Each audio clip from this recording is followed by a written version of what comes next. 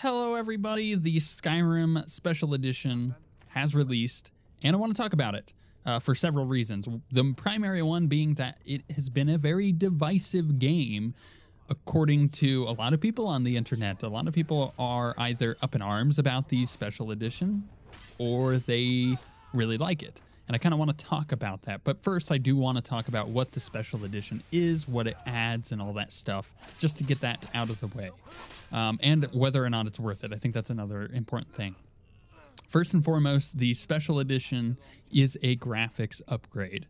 And it is indeed a pretty big graphics upgrade from the original. Does it look like The Witcher? No, but it doesn't need to. It's Skyrim. Skyrim's a fairly old game. The Witcher 3 is a fairly new game and even The Witcher 3 being a fairly new game is starting to see some aging on it. Some textures there just are pretty uh, awful, and you know people are already modding that and making that look better. So it's just you know Skyrim is an old game. You shouldn't expect miracles here, but it does look better. It looks significantly better than original Skyrim. So that's the first thing. And how does it do that? Well, it does it through high resolution textures. And by the way, if you're if you're a PC player of Skyrim like I am, I understand that you've had access to this stuff all along. Just bear with me as I get through what this the special edition adds. And then we'll get to why it's relevant or not to PC players. So it adds uh, higher resolution textures, which is a pretty big deal when you compare it to the old version. Uh, it's actually a fairly large upgrade. There are some pretty bad textures still, but they're not nearly as bad as they used to be. Then it adds some additional lighting, some shading. I, I think the lighting looks much better. It's noticeable in a lot of different areas, and others it's just not noticeable at all. So it's hard to kind of tell. You have to get into the right areas to see it. And certain times of day, too, like when the sun is setting, it just is gorgeous now compared to what it was. There's also volumetric lighting. So uh, you know, God rays is a pretty good example of that. You can be walking through the trees and the sun will hit it just right, and you'll be able to see the rays of the sun coming through. And that's nothing new in gaming. It just looks good now that it's officially in Skyrim and not from a mod. And then also there is uh, volumetric clouds, so you'll see smoke coming off of like fire braziers. There is god rays coming from that fire, and you know there's like bloom, which is a kind of a cool thing to see in Skyrim because it's not again there by default. So bright lights will look kind of bright on the screen compared to you know what they were before. You'll even get a little bit of like a um, like a lens flaring effect from it uh, kind of like what you would do if you were staring at a real can- candle and kind of squinted your eyes a bit, that kind of flaring effect. So you get that, you know, on the, the sides of your screen and stuff as you're moving. There's a bit of motion blur, but I think the most prevalent thing that I have noticed makes a big difference in the special edition is the addition of depth of field. So when you're up close to, and you'll see in the background footage, I'll just like randomly walk up to an object and have it like half in my view and half not. And the reason I'm doing that is because I'm checking out the depth of field. It means that anything in the background gets blurred out, whereas everything in the foreground doesn't. And it uses a pretty clever system to detect, you know, whether or not something is in the foreground. And I haven't seen it mess up too much. I've, I've played about an hour of the special edition, which is all you really need to play to kind of get an idea of what it's adding um, compared to the original, which I've put like 100, 200 hours in, something like that. But you you kind of get the idea and the feeling that the the depth of field is is really good, works well, and doesn't usually mess up. There there's some times where I was looking at something and it it was blurring out the wrong thing. But for the most part, again, it it looks like you would think it does. And it, it works more smoothly than most of the mods I've tried for depth of field. And I think that's actually a pretty good point to get into you know the the main factor for the special edition existing which is that of modding. And I'm not necessarily talking about PC. We'll get there in a moment when we talk about the PC version, but I'm talking about consoles. Because before, Skyrim did not exist on Xbox One, PlayStation 4, and it was only on Xbox 360 and the PlayStation 3. So if you were a person who got a new console and never played Skyrim, now is your chance to play it on your new console with upgraded graphics. It's not going to look super poopy like it used to. And that, uh, on that same vein, it's also now available to mod on consoles as opposed to what it was. You know, the Xbox 360 and the PlayStation 3, you couldn't mod Skyrim. So the console players were missing out on a huge part of what Skyrim was to people on the PC. You know, we had such an advantage over making this game way better with the thousands and thousands and thousands of mods and awesome, really cool uh, expansions, basically, like the Enderal mod that recently came out. I think it takes you to Morrowind. I haven't played it, but the people I have talked to that have played it have told me that it's about 60 to 100 hours long. So it's like its own thing. It's its own continent. It takes you to Morrowind, and it's got its own zones, its own dungeons, its own stories and side stories and big quests, and it's awesome, apparently. And it's so awesome that the developer of the mod, the writer, he won a, a, writing award from the Writers Guild of America. That's a big deal. That's a really cool thing that a mod developer has done for Skyrim and, and essentially has like kickstarted whatever career that he wants in game design at this rate, right? Because he's done this incredible thing with a fairly old game. And it's now this mod that's available for free to everybody. And we're assuming that that mod will also come to consoles. Kind of depends on the size of the download and stuff like that. But with that said, the the game, the special edition, is not necessarily targeted to PC players. It's targeted to console players. It's targeted to the people who haven't been able to play it because they either didn't pick it up on Xbox 360 or PlayStation 3 and now have a next gen console, or did pick it up on those old consoles, played a lot of it, and are kind of sad that they don't get to continue playing it.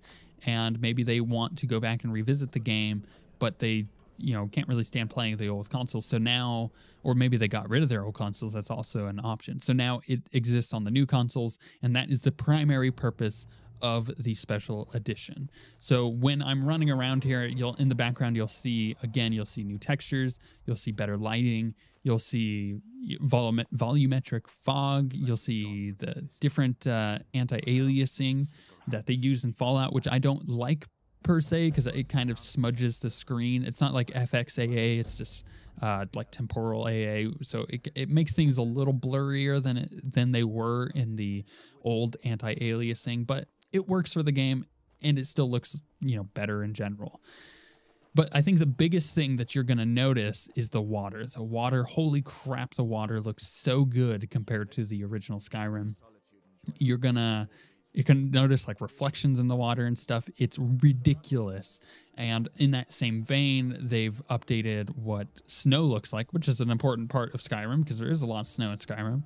So they updated the rendering tech there and it just it looks better it looks wet it actually looks like it is snow and this is coming from a guy who has lived in pretty much snow my entire life uh, there's been seasons of my life where i haven't seen much snow but for the most part anytime it hits winter based on where i'm living i see a lot of snow so i can tell you for a fact that the snow looks a lot more like real snow and that is a, a very big deal because the old skyrim snow looked pretty terrible. That was always one of the first things I, I modded out because it was a pretty big deal of how bad it was. But another large thing that they added, aside from water uh, upgrades, was a 64 bit rendering tech. So it essentially, uh, in layman's terms, it means that certain things are going to render a lot faster, which means the game is going to run smoother but it also allows some under the hood stuff to take place to make sure that modders have better access and more uh, power behind whatever they want to mod, uh, especially when it comes down to graphical mods. And I think that's really important to mention before we talk about the PC stuff. Um, but generally speaking, this was all meant for console release. This is a console thing. So let's let's actually kind of get into the PC stuff now. So, on the PC side of this, everything that I've just mentioned, we've had for years. We've been able to mod into our game. It's something I've always done. I always usually equip a, an ENB into my game. Uh, generally, I switch it up, but sometimes I go back to the same one. Sometimes I just go without one because I don't want to deal with the headache that tends to be ENBs. I have a very powerful machine, a very powerful machine. And there are times where I am running, you know, let's say The Witcher 3 is a really good example, running it at 100, 130 frames per second. That's pretty good. Sometimes it dips down to be at 60, but generally speaking, it's way above that. And The Witcher 3 is a good baseline for performance because it is also an open world game. So I would go and install an ENB on the old Skyrim, and my game would go from 60 frames per second, because that's the frame limit cap, well, to get to that, to about 40. And there's just nothing you can do about that. And that comes from some under the hood stuff. It's it's kind of where the game maxes out uh, when you're putting that much stuff into the render engine, and that was just an issue that people had to deal with. It's go look at any enb for Skyrim. You'll see people just being like, "This is performance friendly." Expect to get around 40 to 50 frames per second if you have a good machine, and that's that's not necessarily okay. Um, but it is something that you lived with because you knew you were modding your game. You were causing your game to be that way to look better. You were actively degrading performance for a uh, massive increase to visual quality.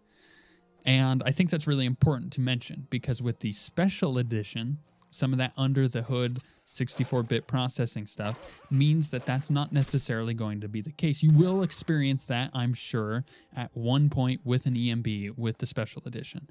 But that's not to say that that's going to be the majority of cases now.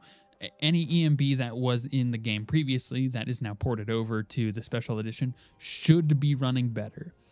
The game, though, is still capped at 60 frames per second. I think that's really important to mention and it's not necessarily because it's a like a, a thing that Bethesda wants to put on you. They it's not like they're saying that 60 frames per second is the only thing that you will ever be able to see. That you know, they're not like calling it out that way. They're they just have made a mistake because this engine they made is fairly old and it's also the same idea for the Fallout 4 engine.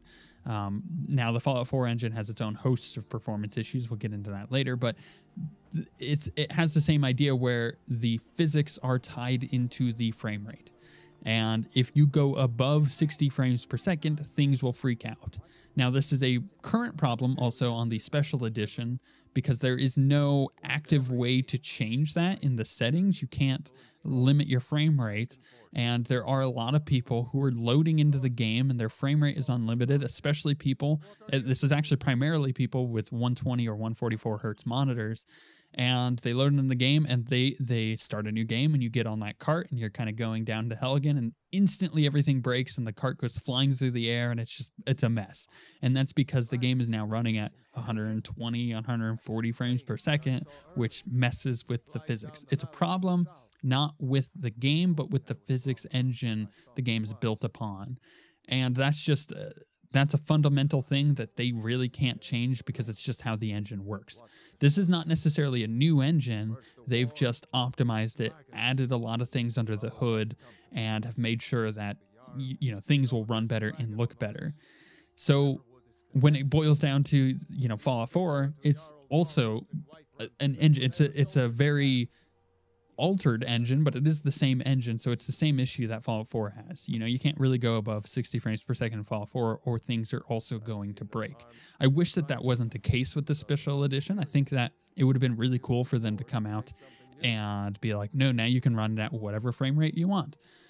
Unfortunately, the reality of the situation is that's just not possible for them to do with this engine. Hopefully, in the future, that will be fixed, but right now, that is still a problem. So if that's a deal breaker for the special edition for you, then that's the deal breaker. It's just it's not going to change. Um, but with that said, when you install new ENBs or any graphic mods or stuff like that, you should expect to, if you have a really powerful computer like myself or like other people, you should expect to continue to remain at 60 frames per second And I have a demonstration of that later. I should also have mentioned, I don't know why I didn't. Nothing in the background you're seeing is modded. This is all just Skyrim Special Edition, vanilla Skyrim Special Edition, which is uh, way too long to say that I don't have any mods installed on this. So let's get into a little bit about the that PC crowd that I was talking about earlier, the ones that don't necessarily believe that this should be a thing because again, we've been living with mods for years now. We've been making our game look like this, look better than this for several years. So why should the special ex- edition exist? That's what they're saying. And I think it just boils down to them either misunderstanding the the situation here, which is that this game is free I know, right? Like if you owned the Skyrim, uh, the original Skyrim with all the DLC, or you owned the uh, original Skyrim with the Legendary Edition, which also all the DLC. The key is all the DLC there. Then on the 28th, when the game came out, you you got you got it for free. It was it, they gave it to you. They were like, here, have, have this. We understand that you have the original Skyrim. You played a lot of it. You modded it here, have this new version, and it's free, and it's better than the old one. Oh, by the way, all your mods are going to be able to be ported over really easily as long as the mod authors do it on their own. Um, really, no issue there. Hey, it's better. It's easier to look for mods through the mod collection that you can go through through the main menu. If you don't want to do that, that's cool. You can still do it through the the Nexus, the Skyrim Nexus. Oh, hey, and by the way, all of that stuff that was free on the Skyrim Nexus, still free, still works in the special edition, again, as long as they port it over. So you still have all that content you still can do Enderal if he ports it over. And yeah, it's a free thing. Here you go. Awesome present. Like I, I, I think that the the PC players, a lot of them didn't didn't see that that was going to be a thing and that's their uprisal is why would I rebuy Skyrim? Well, you wouldn't because if you owned it and you played it, then you now have a better version. If you didn't own Skyrim in the DLC, then you shouldn't be worried about playing Skyrim. You shouldn't be worried about the special edition because you probably weren't going to touch it. Now, if this does interest you and you didn't own Skyrim, then this is now the definitive version to have. Period that's that. There is no negative for this to be out, to this to exist. It didn't take away from any development time from another Elder Scrolls game, or it didn't take away from any development time that was going to be put into Fallout 4. Because back when Fallout 4 was being thrown around at Bethesda, they've been very clear in saying that they used Skyrim on the new consoles because it was that console generation jump that they had to deal with. Um, they were using, they were running Skyrim on the new consoles and trying to see what they needed to do to make Fallout 4 run on it. And it was in this process that they realized, oh, well, why not just re release Skyrim on the new consoles, but let's do it right. Let's give it better graphics so that way the new console players are getting the benefit of being on a new console.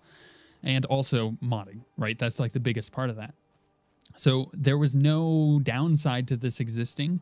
There was nothing that took away from the development time of other games. In fact, it it benefited the development of Fallout 4. Um, then again, we've talked about it, but Fallout 4 has its own host of performance issues. Um, and with that, you know, maybe that whole process made them realize again that they just need a new engine for their new games. And in which case, this becoming a special edition has helped whatever the next game is not suck because hopefully it runs at higher than 60 frames per second because the physics aren't tied into the frame rate. That is a long and exhaustive way of saying that this is not a bad thing. This should exist and it should be available for anyone who wants it. And if you do not want to play Skyrim, if that's not something that interests you, then who cares? You shouldn't care about why are you watching this video? You know, this is for the people who want to uh, get back into Skyrim, who want to try it again, or like me and go back to the game every six months or two a year and go and play it because, you know, I get an itch. I, I sit there and I'm like, oh, you know, it would be really fun let's play Skyrim and I'll reinstall it. I'll put a ton of mods on, I'll boot it up and I'll make a new character and I'll play for like a good 10 hours and then I'll forget it for another 7 months to a year because that's the way that it works for me. Skyrim is still a really good game. Skyrim is great. As a mods on it make it even better. So why not go back to it? It's it's a game that I have more than Uh, than pretty much almost any other game in my library gotten my money's worth, with maybe the exception of Kerbal Space Program, because I think that is my highest playtime game that I own. So I just I don't see what their complaint is. But there are people, believe it or not, there are people who complaining that this thing exists. Again, I, I, I just don't think it's for them. And this the whole idea of the special edition was for the console players and now PC players get a benefit from it.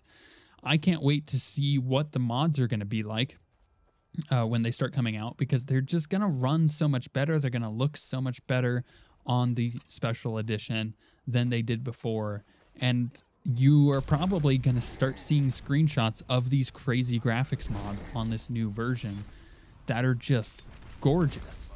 And I don't think that that's a bad thing. I think that's that's going to make whatever Bethesda games come out in the future way better.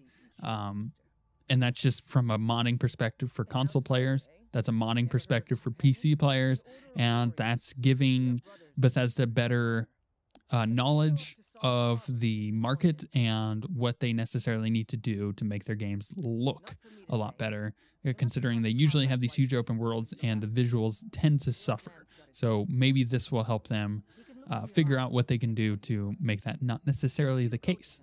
But it's at this point that I'm going to switch my footage over. So what you saw running before was 1080p 60 frames per second footage. I was running my game in 1080. I have a 1080p monitor. That's that.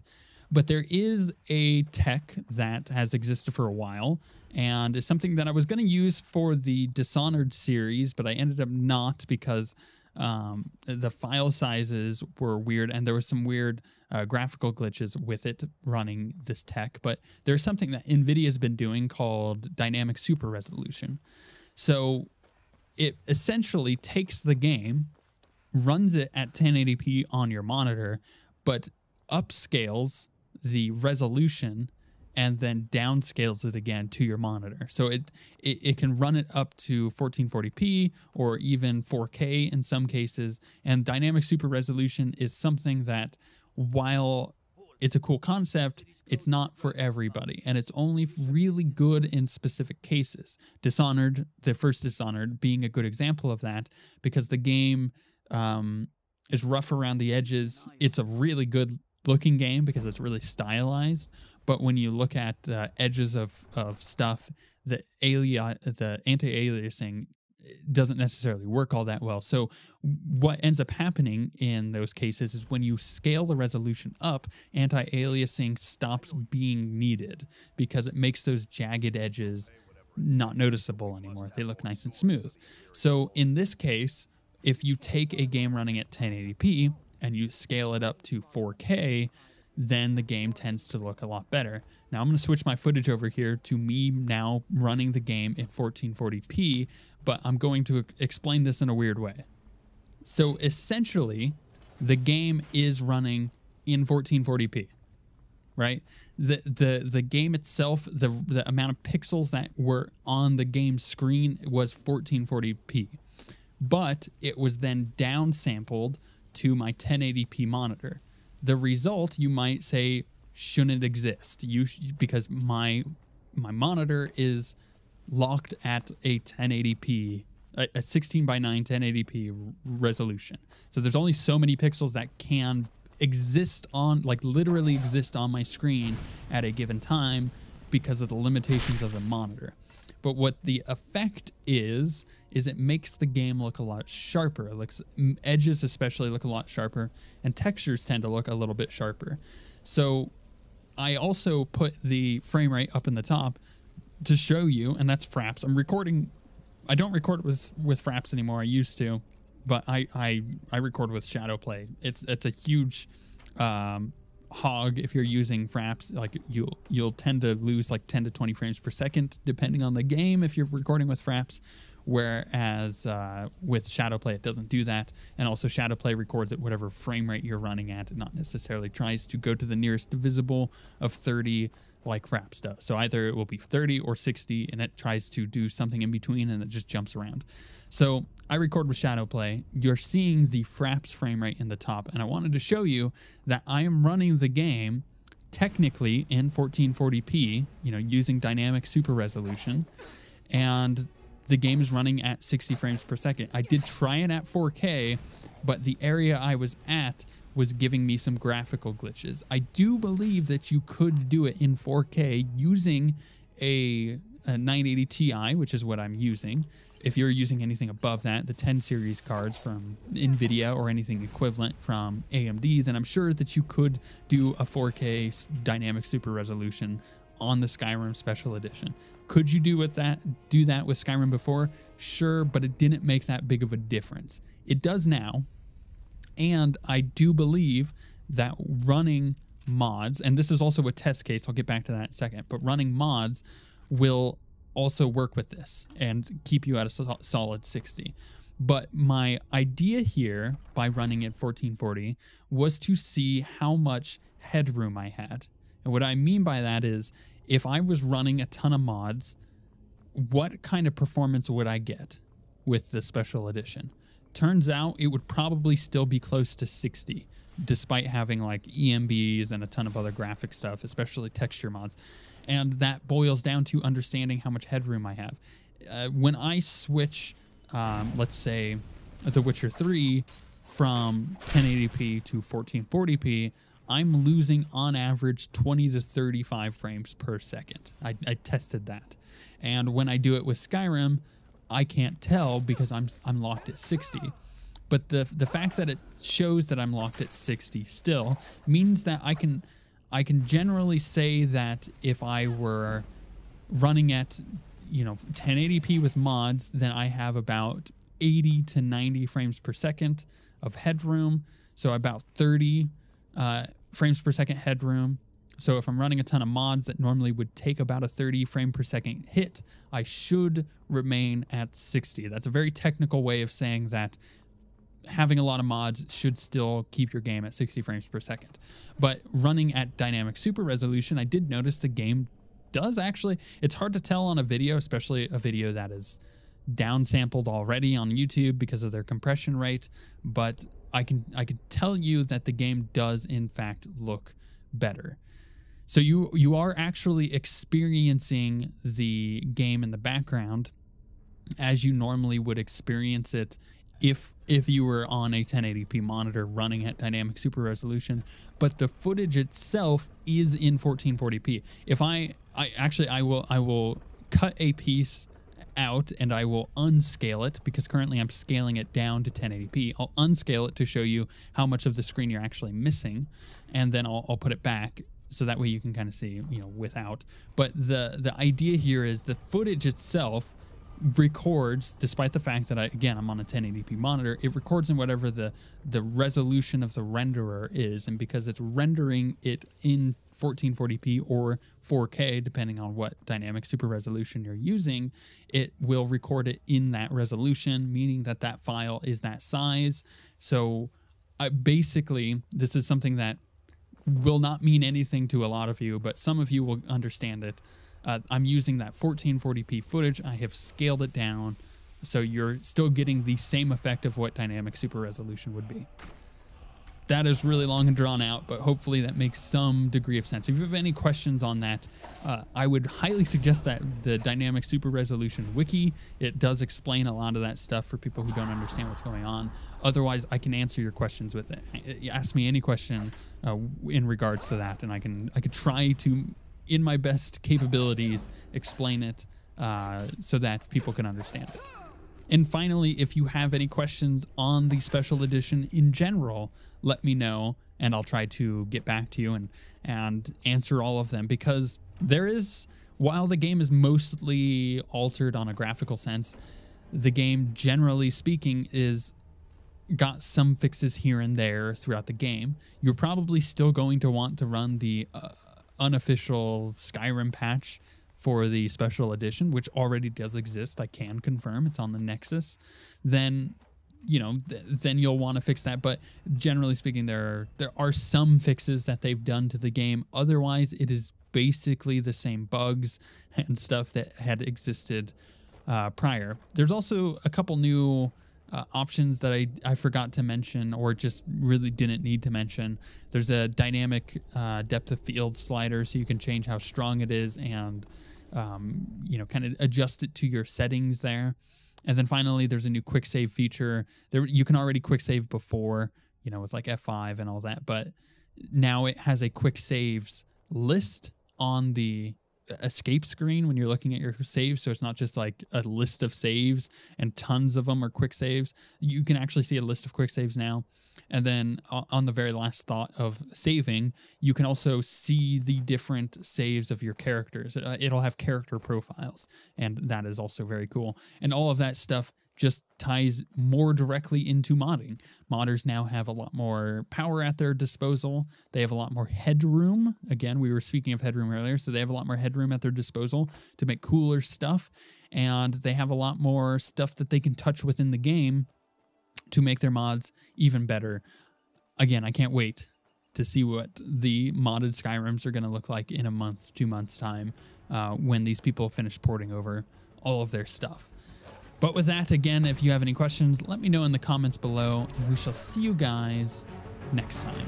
Clint from AMD's, and I'm sure that you could do a 4K dynamic super resolution on the Skyrim Special Edition. Could you do with that do that with Skyrim before? Sure, but it didn't make that big of a difference. It does now, and I do believe that running mods, and this is also a test case, I'll get back to that in a second, but running mods will also work with this and keep you at a solid 60. But my idea here by running at 1440 was to see how much headroom I had. And what I mean by that is if I was running a ton of mods, what kind of performance would I get with the special edition? Turns out it would probably still be close to 60, despite having like ENBs and a ton of other graphic stuff, especially texture mods and that boils down to understanding how much headroom I have. Uh, when I switch, um, let's say, The Witcher 3 from 1080p to 1440p, I'm losing on average 20 to 35 frames per second. I, I tested that. And when I do it with Skyrim, I can't tell because I'm I'm locked at 60. But the the fact that it shows that I'm locked at 60 still means that I can I can generally say that if I were running at, you know, 1080p with mods, then I have about 80 to 90 frames per second of headroom. So about 30 uh, frames per second headroom. So if I'm running a ton of mods that normally would take about a 30 frame per second hit, I should remain at 60. That's a very technical way of saying that having a lot of mods should still keep your game at 60 frames per second. But running at dynamic super resolution, I did notice the game does actually, it's hard to tell on a video, especially a video that is downsampled already on YouTube because of their compression rate, but I can I can tell you that the game does in fact look better. So you you are actually experiencing the game in the background as you normally would experience it if if you were on a 1080p monitor running at dynamic super resolution but the footage itself is in 1440p if i i actually i will i will cut a piece out and I will unscale it because currently I'm scaling it down to 1080p. I'll unscale it to show you how much of the screen you're actually missing, and then I'll, I'll put it back so that way you can kind of see, you know, without. But the the idea here is the footage itself records despite the fact that I again I'm on a 1080p monitor it records in whatever the the resolution of the renderer is. And because it's rendering it in 1440p or 4K depending on what dynamic super resolution you're using it will record it in that resolution meaning that that file is that size. So I basically this is something that will not mean anything to a lot of you but some of you will understand it uh, I'm using that 1440p footage. I have scaled it down so you're still getting the same effect of what dynamic super resolution would be. that is really long and drawn out, but hopefully that makes some degree of sense. If you have any questions on that, uh, I would highly suggest that the Dynamic Super Resolution Wiki. It does explain a lot of that stuff for people who don't understand what's going on. Otherwise, I can answer your questions with it. Ask me any question uh, in regards to that, and I can I could try to, in my best capabilities, explain it uh, so that people can understand it.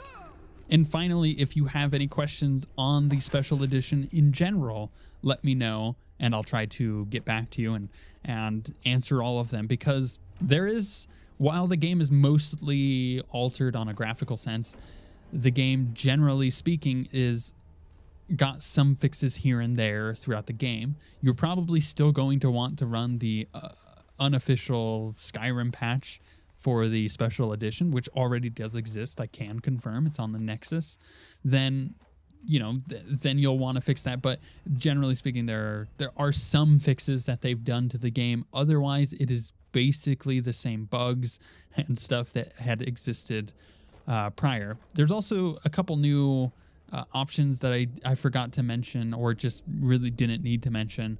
There's a dynamic uh, depth of field slider so you can change how strong it is and um, you know, kind of adjust it to your settings there. And then finally, there's a new quick save feature. There, you can already quick save before, you know, with like F5 and all that, but now it has a quick saves list on the escape screen when you're looking at your saves. So it's not just like a list of saves and tons of them are quick saves. You can actually see a list of quick saves now.